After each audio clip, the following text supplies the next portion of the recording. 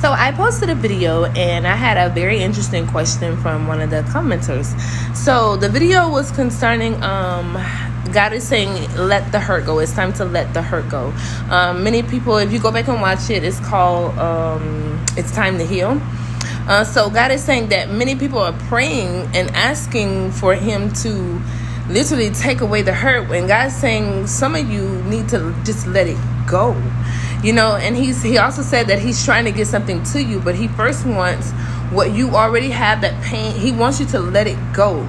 So it's not that he's you're not allowing him to heal as much as you're asking him to heal. I hope that makes sense so some people are asking him to heal but you're not allowing him to heal you you're saying it maybe with your mouth and you're praying it but you have to then surrender that pain to God. And so she asked me a question. She said, Okay, well, then what does that look like? What does letting go look like? And I gave her an example that, um, was pr- very practical for me. So I remember I used to struggle with unforgiveness. And I remember there was an incident that happened that really, really convicted me. This incident was very different prior to the previous incidents where somebody would do something and then I would harbor unforgiveness toward them. But this particular incident was different. Like, I didn't want to be mad, I felt convicted about harboring the unforgiveness. And so then I prayed about it. So I said, God, I don't want to be mad. I don't want to, you know, be upset and angry at this person about this situation. And when I prayed the prayer, God responded to me immediately.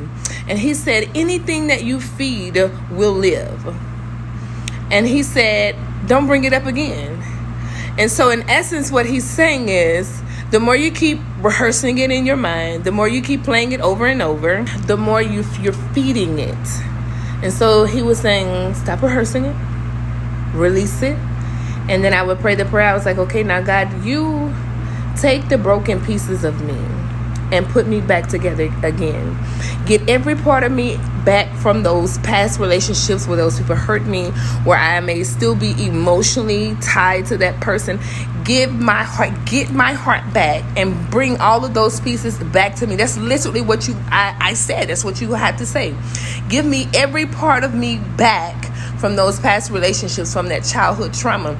Because in essence, that's what's happening. There, there are pieces of you that are still in that situation. There are pieces of you that are still with that guy and in that relationship or in that trauma, in that abuse.